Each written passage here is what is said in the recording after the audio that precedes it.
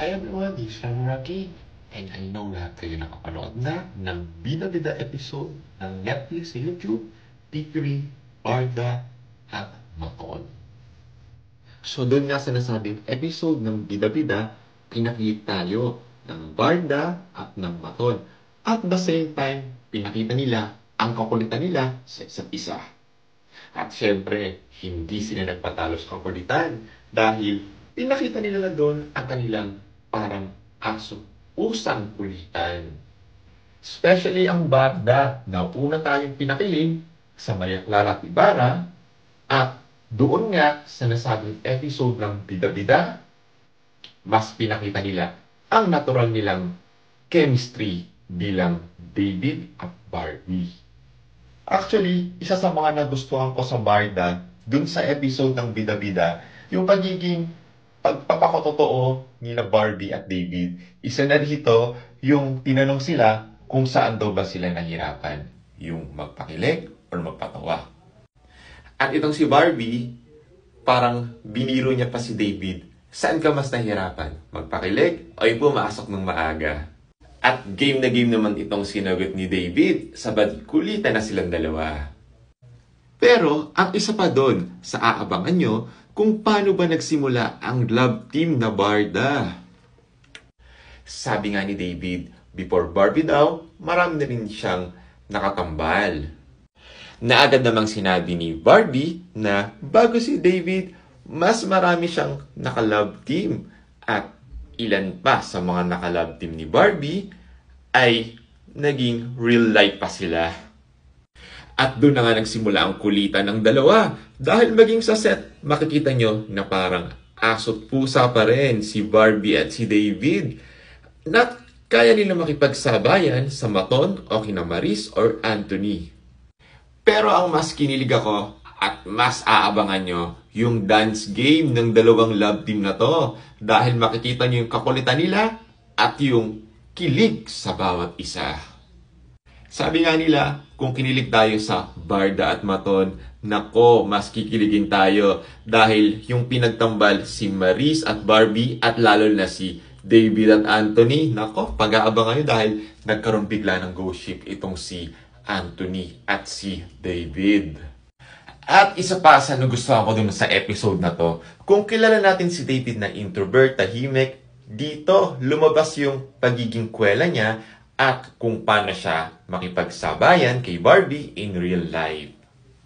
At syempre, gusto ko rin yung pagiging kwela at cool ni Barbie.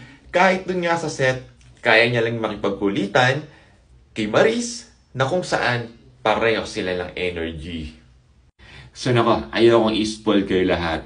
Basta panoorin niyo sa Netflix YouTube channel ang Bida Bida Episode 3 at talagang kikiligin kayo at tatawa sa buong episode na to. At bukod pa nga sa nakakakilig na episode ng Barda dun sa Bida-Bida, sinabi din nila ang mga dapat abangan sa kanilang mga characters sa upcoming historical series ng GMA na Pulang Araw. Dito rin inamin ni David na nag-aral pa talaga sila ng Japanese dahil Japanese ang character ni David sa Pulang Araw. Nako, ilan lang yan sa mga dapat yung abangan sa episode 3 ng Bida Bida dahil marami pa kayong madidiscover sa Barda at malalaman nyo kung paano nag-click ang personality nila Barbie at ni David. At bukod kina Barbie at David na talagang tumatak ang chemistry as Barda, makikita nyo rin sa episode kung paano may chemistry din pala. Pag pinagsama ang Barda at Maton.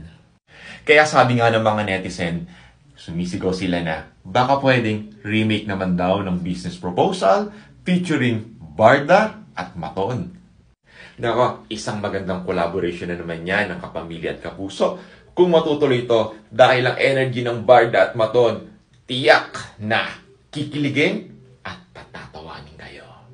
So ayan mga rockers, kung gusto nyo pang maraming malaman sa Barda, nako, huwag nyo nang palagpasin ang Bida-Bida episode ngayon sa YouTube channel ng Netflix. And because as of this video, malapit nang mag-million views ang kanilang episode, nako, Actually, ako nga, pinanood ko pa ng paulit-ulit eh. Dahil nakaka-good vibes talaga sila. Talagang magiging masayang araw mo.